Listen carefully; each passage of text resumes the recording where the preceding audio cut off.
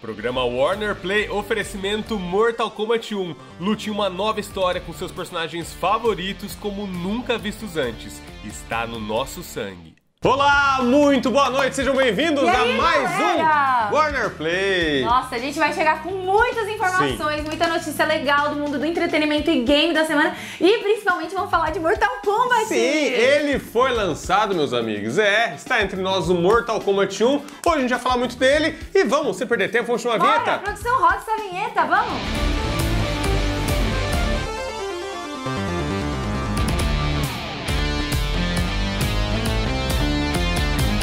Nós sabemos já que vai ter muito de Mortal Kombat 1, o grande lançamento do ano. E que mais, Valen, que vai ter no programa de hoje? Além disso, a gente também vai falar muito sobre filmes de terror. Quem aí gosta de filmes de terror? Também as notícias e informações do mundo gamer e do mundo geek. A gente também vai enaltecer os atores brasileiros que estão em Hollywood. Sim, vamos trazer curiosidades sobre Barbie. E a gente vai contar pra vocês as atrizes que são donas de empresas lá nos Estados Unidos. Tudo isso e muito mais no programa Warner Play começa agora. E vocês viram que aqui no nosso estúdio a gente ama Mortal Kombat. Inclusive, vocês já viram esse aqui, jogo gigante do Mortal Kombat dos anos 90, não é? Sim. Olha só, Mortal o até já 2. me deixou jogar aqui, hein? É, e a gente tá na época do Mortal Kombat 1. Só que na década de 90 teve o primeiro Mortal Kombat e a gente vai ver agora como que era a tecnologia da época. Ih, vamos lá. Bora lá. Lá no começo dos anos 90, a Midway Games queria que um jogo de luta fosse feito em aproximadamente um ano, para aproveitar a nova onda de jogos de luta da época, colocando então Ed Boon e John Tobias para criar esse novo título do zero. Os dois já tinham uma ideia de usar gráficos digitalizados, como já havia sido feito no game Pit Fighter, só que com proporções muito maiores, outro nível. Inicialmente, o jogo de luta seria baseado em filmes de Kung Fu, mas dentro da Midway existia um desejo de criar um jogo de luta com o ator belga Jean-Claude Van Damme que estava bombando na época. O problema é que o ator já estava em negociação com outro estúdio e o projeto teve que ser modificado. Só que acabou dando oportunidade para a equipe finalmente trabalhar na sua ideia original. E como não podiam mais usar o Van Damme, criaram um personagem dentro do jogo com aparência e golpes bem parecidos com o do ator que a gente vê lá no filme O Grande Dragão Branco e deram para ele o nome Johnny Cage. Tentando então se diferenciar ainda mais de outros títulos de luta da época, o jogo tinha magias um pouco mais realistas, se é que isso é possível, e também ultra violência para chamar atenção. Em entrevistas, anos após o lançamento do game, o Ed Boon disse que a ideia do jogo ser tão violento, ele surgiu conforme o jogo estava sendo feito, mas acabou funcionando muito bem, e tudo em cima do que já estavam planejando. Depois de 10 meses de desenvolvimento, a primeira versão de Mortal Kombat foi testada internamente lá na Midway, contendo apenas 6 lutadores. E daí, quando a gerência aprovou o trabalho, o time recebeu um pouco mais de tempo para incluir também uma lutadora feminina e assim Sonya Blade foi criada. Todos os personagens e movimentos foram fotografados e digitalizados no game, contendo mais de 300 frames de animação. E depois de ficarem um tempo sem saber como chamar esse novo jogo, que quase virou Death Blow ou até Fatality, alguém escreveu combate com K em um quadro. E daí o Steve Rich, que era designer de pinballs lá da Midway, olhou e sugeriu: Hum, por que, que vocês não chamam o jogo de Mortal Kombat? E simplesmente o nome pegou. O Rich ainda deixou uma outra marca na franquia, já que ele foi a voz do Shao Kahn em Mortal Kombat 2 e 3. E depois do lançamento, Mortal Kombat fez um sucesso imenso nos arcades, mas também ficou no centro de polêmicas devido à sua violência lá na época. Isso que era tudo pixelado, hein? E junto com outros títulos também bastante violentos, lançados lá nos arcades e consoles, o jogo foi apresentado no Congresso americano que tentou censurar esses games. E como resultado foi criado o ESRB, órgão que classifica jogos nos Estados Unidos, indicando para qual público eles podem ser vendidos, evitando também que crianças tenham acesso a jogos muito violentos ou com temas adultos. E esse foi só mais um ponto em que o Mortal Kombat marcou o seu nome na história da indústria dos games. E agora a gente vai deixar todo mundo bem atualizado das notícias do Sim. mundo gamer, do entretenimento, do mundo dos quadrinhos que rolaram essa semana, né? Isso aí, você quer ser a pessoa dos seus amigos que mais entende do mundo gamer geek? É só assistir o Warner Play. Roda aí! E para você que tá jogando Mortal Kombat 1, prepare-se porque as inscrições estão abertas pro First Combat, o primeiro grande torneio de Mortal Kombat 1 no Brasil. E você pode entrar nesse QR Code que tá aparecendo aí na tela para se inscrever agora mesmo nesse campeonato organizado pelo Combat Club. Vai ser no dia 30 de setembro e 7 de outubro para PlayStation 5 e a transmissão vai ser exclusiva no Warner Play no YouTube e TikTok. E você sabia que Barbie, esse filme premiadíssimo, ele está disponível nas principais plataformas digitais? Isso mesmo, você pode comprar ou alugar para assistir hoje mesmo na sua telona de casa, inclusive com versão 4K, tá? E você que quer assistir nos cinemas, tem uma novidade. Barbie chegou com edição IMAX. E além de você assistir nessa qualidade sensacional do IMAX, ainda tem outra coisa, uma cena pós-crédito nunca antes vista. Ah, o seu negócio é terror? Então você tem que assistir A Freira 2, que conta a história da irmã Irene, que mais uma vez está determinada para deter o maligno e fica mais uma vez cara a cara com a força do mal. Você viu que Aquaman 2 tem data marcada para o cinema de todo o Brasil? vai ser no dia 20 de dezembro, então você vai poder assistir com toda a família, praticamente nas férias, esse filmão da DC. E você que quer assistir o trailer, já tá disponível no YouTube do Warner Play, beleza? E agora eu vou dar duas dicas de filmes, super lançamento nas principais plataformas digitais na semana que vem. Então, ó, dia 25 de setembro, segunda-feira, vai lançar nas plataformas digitais os Aventureiros A Origem, esse filme do Lucas Neto para toda a família. E no dia 28 de setembro, quinta-feira, chega nas principais plataformas digitais para compra e aluguel Scooby e Crypto Supercão. Então é só você escolher a sua plataforma digital preferida e assistir no conforto da sua casa. Os brasileiros estão invadindo Hollywood, Graças né? Graças a Deus. Até a Bruna Marquezine, né, Sim. né? Agora estreou em Besouro Azul. Ela, nossa, gente, ela era protagonista de um filme de super-herói. Muito legal, né? Muito bom. Então a gente vai ver quais são os brasileiros que estão aí estrelando em Hollywood. Você lembra de cabeça? Vou mostrar pra vocês.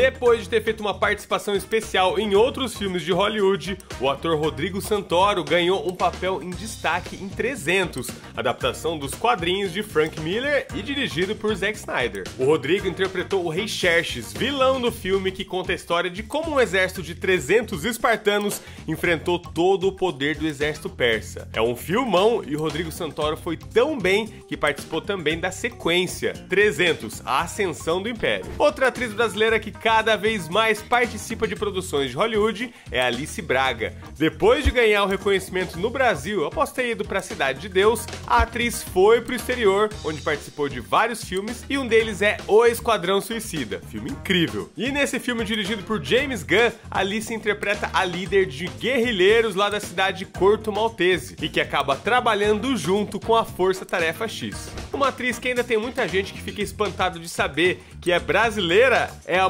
Morena Bacarin. Ela praticamente fez carreira nos Estados Unidos, onde já vive há vários anos, mas não esconde a sua origem carioca. Recentemente ela participou da série Gotham, que foca nos anos em que Jim Gordon era só mais um policial na caótica cidade em que os vilões e o órfão Bruce Wayne vivem. E na série ela é uma médica que acaba se envolvendo com Gordon e desenvolvendo um relacionamento com ele ao longo das temporadas. Só que não é só em produções de gibis que os brasileiros aparecem em Hollywood não. Em Animais Fantásticos, Os Segredos de Dumbledore foi a vez da atriz Maria Fernanda Cândido dar as caras como Vivência Santos. Ela é uma importante bruxa no mundo mágico e candidata ao posto de chefe supremo da Confederação Internacional de Bruxos, algo bem importante para a trama do filme. E não tem como fechar essa lista sem falar dela, a mais recente estrela brasileira aí para Hollywood, a Bruna Marquezine. A atriz estrelou ao lado do Chulo Mariduena, o Besouro Azul, o novo filme da DC. Ela interpreta a Jenny Cord, que é herdeira das indústrias Cord, que ajuda o jovem Jaime Reis na tarefa de ser o Besouro Azul e salvar Palmeiras City.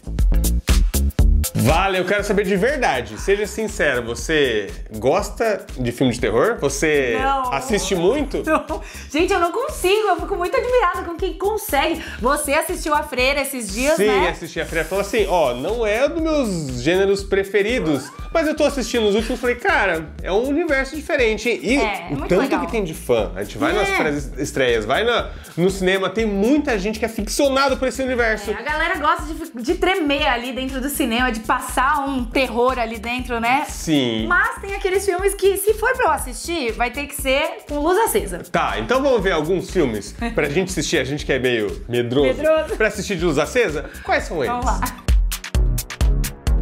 Invocação do Mal gira em torno do casal Ed e Lorraine Warren, famosos por serem investigadores paranormais. Eles são chamados por uma família que acredita estar assombrada por algo, mas não sabem exatamente o que. Investigando a casa, Ed e Lorraine descobrem segredos sobre seu passado, além de cruzar com uma boneca absurdamente assustadora chamada Annabelle.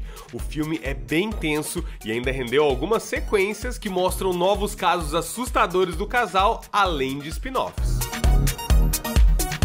mais conhecido desses spin-offs é Annabelle. O filme começa exatamente com a mesma cena de Invocação do Mal, com os jovens falando para Ed e Lorraine sobre uma boneca chamada Annabelle e como eles acreditam que ela tá possuída por algo maligno. O filme então mostra a história de um casal de recém-casados e como as suas vidas mudaram depois de um ataque violento à sua casa e o efeito tenebroso que isso teve em uma boneca aparentemente comum. E para quem tem aquele medo de bonecas, Annabelle é um tormento de assistir, mesmo com as luzes acesas.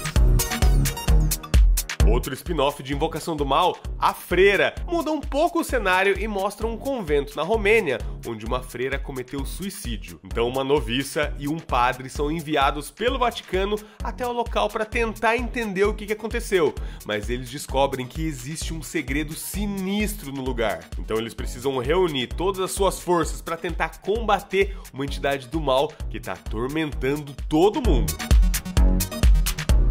E mais uma vez o ator Patrick Wilson dando as caras por aqui, dessa vez em outra franquia, em Sobrenatural. Ele é o pai de uma família em que um dos filhos entra em coma totalmente do nada, o que faz com que ele acredite que a sua casa esteja assombrada por um espírito do mal. E eles se mudam, mas o moleque continua com problemas, o que pode ser indício de que alguma coisa está perseguindo o menino. Então ele tenta buscar ajuda para salvar o filho, mas parece até um filme tranquilo, só que é cheio de cenas que vão fazer você pular da cadeira.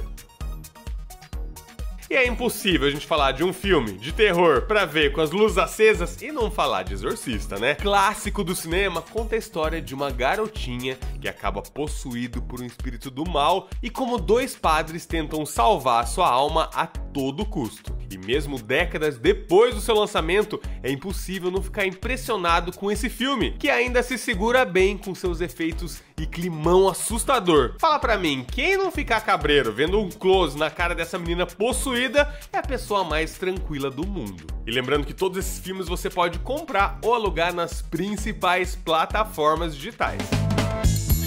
Arthur, você sabia que tem algumas atrizes lá em Hollywood que, além de atrizes, elas também são donas de empresas de produção? Eita, olha só, você vai mostrar isso pra gente agora ou depois? Vamos, vou contar aí quanto dinheiro elas estão ganhando, hein? Então tá, no próximo bloco então, e também no próximo bloco vou trazer um pouco da evolução das mulheres no Mortal Kombat. Ah. Os gráficos antigos contra os gráficos novos. Vamos ver isso? Bora. Próximo bloco.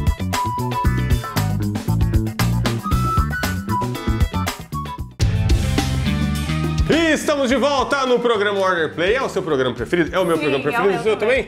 Não tem desvantagem. E começando aqui o bloco falando de Warner Play Pipoca. Sim, gente, agora eu vou contar pra vocês algumas atrizes que estão arrasando lá em Hollywood, porque elas também são proprietárias de empresas de produção. Vamos dar uma olhadinha.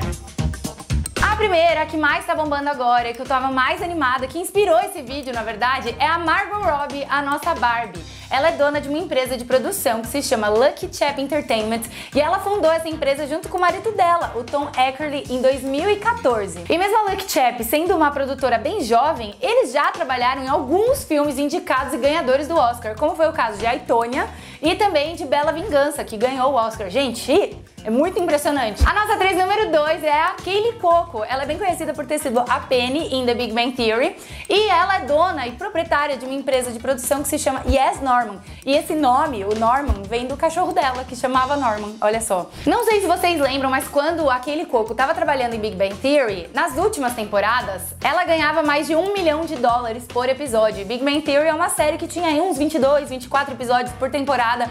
Então, gente, a Kaylee Coco basicamente colocava no bolso 24 milhões de dólares por ano só com Big Bang Theory, tá? Tirando as públicas que ela fazia também. E é por isso que ela pegou esse dinheiro e investiu em uma empresa de produção dela, olha só. Assim que ela abriu a Yes Norman Productions, ela assinou um contrato com a Warner de alguns anos para produzir várias séries que iam direto para HBO Max. Então assim, né? Ela começou com o pé direito mesmo. E para fechar com chave de ouro, a nossa listinha de três atrizes que são CEOs, né, que são proprietárias de uma empresa, a gente tem a nossa Mulher Maravilha. Vocês sabiam que a Gal Gadot também é dona de uma produtora? Pois é, gente. Eu amo que a Gal Gadot, ela tem muitas facetas, né? Porque ela já foi Miss, vocês sabiam que ela foi Miss Israel em 2004? Ela também já foi do exército, já que ela é de Israel, o, o serviço militar é obrigatório, então ela também já foi do exército. Gente, essa mulher tem muitas vidas diferentes e agora, depois de Mulher Maravilha, ela também é dona e proprietária de uma produtora. A empresa da Gal se chama Pilot Wave e ela também é sócia do marido dela, que também ela já conheceu ele justamente porque ele é um produtor executivo, então ele sempre estava ali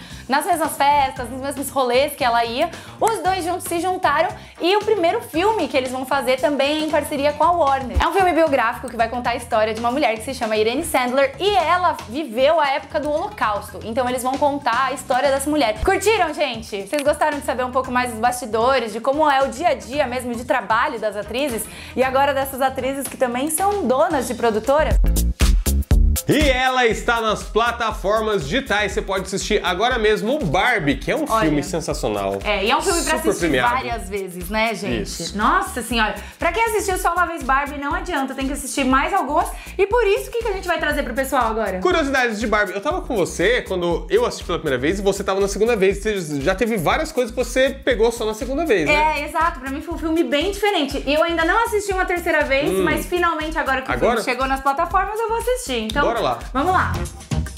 Barbie se tornou oficialmente a maior bilheteria de 2023, ultrapassando a marca de 1,34 bilhão de dólares nas bilheterias do mundo todo. Se isso já não fosse impressionante, o filme também tem as seguintes marcas: maior arrecadação de um filme da Warner da história, ultrapassando Harry Potter e as Relíquias da Morte Parte 2, também a maior bilheteria do fim de semana de estreia em 2023, a maior estreia de um filme sem versão IMAX, maior bilheteria de um filme baseado em brinquedos e maior bilheteria de um filme dirigido por uma mulher. E falando na diretora Greta Gerwig, ela que também é atriz e roteirista, escreveu o roteiro de Barbie ao lado do seu marido, o também diretor Noah Baumbach. A diretora ainda não sabe se voltaria para uma sequência, mas já provou mais de uma vez que sabe bem o que tá fazendo. Barbie foi uma coisa totalmente fora dos padrões, até durante sua produção, que fez com que a tinta cor-de-rosa ficasse em falta em todo o mundo.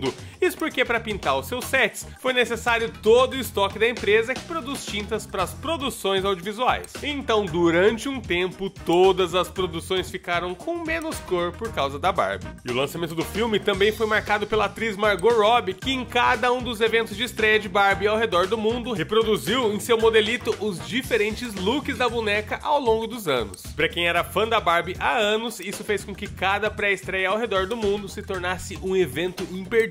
E para fechar, já que ninguém se importa muito com o Ken, a música tema do personagem do Ryan Gosling, I Am Just Ken, se tornou um fenômeno junto com o filme. Seja pela dancinha que o ator fez ao lado de várias outras versões do Ken, e também virou meme na internet, ou por ser uma música realmente muito boa, I Am Just Ken acabou subindo no ranking de listas como Hot 100 e Hot Rock da Billboard. E a trilha sonora completa do filme já está disponível em plataformas de streaming, em versões físicas, em CD e até vinil. E a gente ama trazer a cobertura de eventos Sim. que estão acontecendo, né, agora. E essa semana o que, que aconteceu?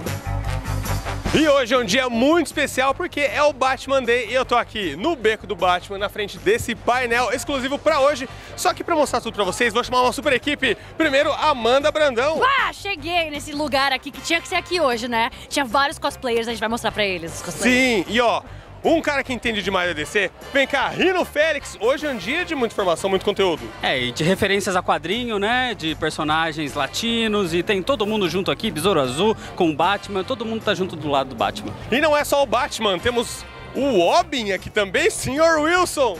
Yes! Pelas barbas do profeta, Arthur, estamos aqui disfarçados hoje, hein? E hoje vai começar então nossa cobertura pra gente mostrar tudo pra vocês o dia inteiro, o que, que vai rolar no Batman Day. Aqui com o Ivan Costa, porque eu quero saber o que tá rolando de especial aqui, já que tá rolando várias ativações graças ao Batman Day hoje.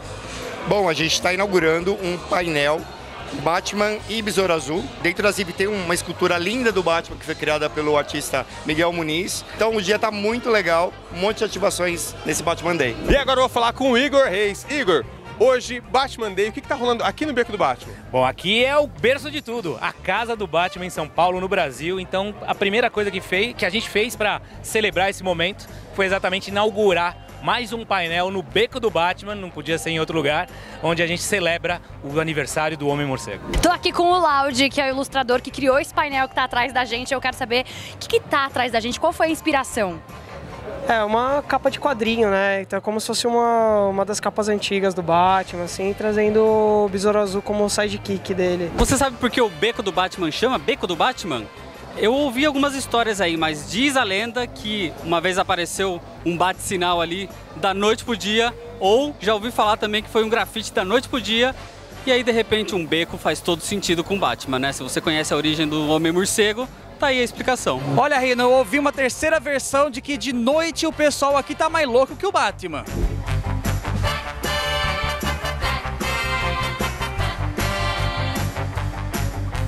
Saímos do beco do Batman, largamos o Arthur no meio do caminho, pegamos o microfone dele, agora a gente que assume aqui, porque a gente veio num evento da Panini para falar um pouquinho sobre quadrinhos e que mais. É um evento um pouco mais chique, a gente tá no, com um modelito mais refinado, infelizmente errei o super-herói, mas tudo bem. Eu quero saber das novidades do mundo dos quadrinhos, os novos HQs que vão ser anunciados nos painéis que vai ter aqui, e também os comics babies, que a gente quer, eu quero ver o que, que vai ter. Agora a gente está aqui no evento da Panini para de novo continuar as celebrações do Batman Day. Diversos quadrinhos sendo lançados aqui hoje. Ótimo para tudo que é fã e colecionador e amantes, lógico, do detetive mais inteligente do mundo. Batman Day tá apenas começando.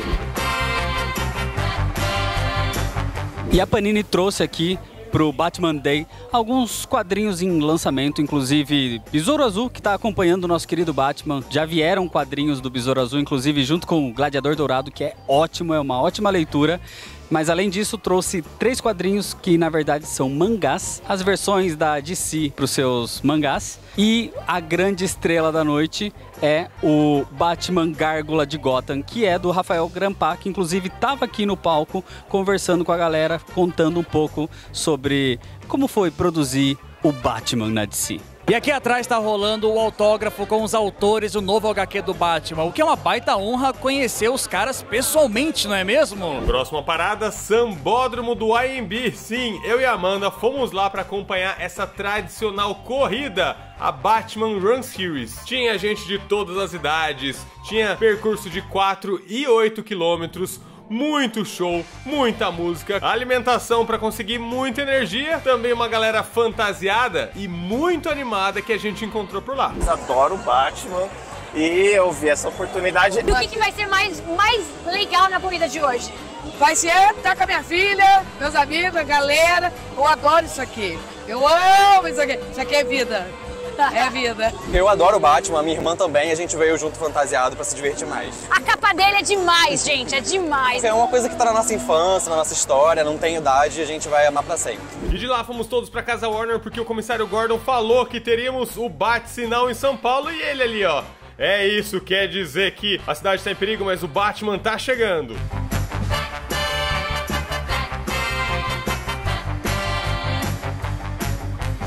E é isso, essa foi a nossa cobertura do Batman Day. O dia inteiro de comemoração não é sua não, é do Batman. Valeu, Batman, parabéns. Muito obrigado. Você vai dar parabéns pro Batman também? Eu não, tem mais pra fazer. Valeu! Ah, tá Poxa. acabando o programa de hoje, que isso? Passou muito rápido. Muito, muito Meu rápido. Mas, se você Ah. quiser continuar acompanhando a gente, saber mais informações do mundo gamer geek, é só procurar em todas as redes sociais Warner Play. Tem no Exato. YouTube, tem no TikTok, no Facebook, no Twitter, todas as redes que você pensar, tá lá. E ó, semana que vem a gente volta com mais programa aqui, né? Exato. E ó, a gente posta todo dia, você vai achar alguma curiosidade, algum conteúdo novo. Então, se ficou com saudades da gente, né, no meio da semana, Isso. é só entrar nas redes sociais e encontrar a gente por lá, arroba WarnerPlay. É isso, né? É semana isso. que vem a gente volta com mais. Tchau, tchau. Valeu, Tchau, até semana gente. que vem. Até. Hoje, vocês provaram ser dignos de se juntar aos meus campeões. Venham, há outros campeões que eu preciso reunir. O que você quer? Sendo é da minha família. A Centaur é minha. Eu não vou deixar você pegar ela sem lutar.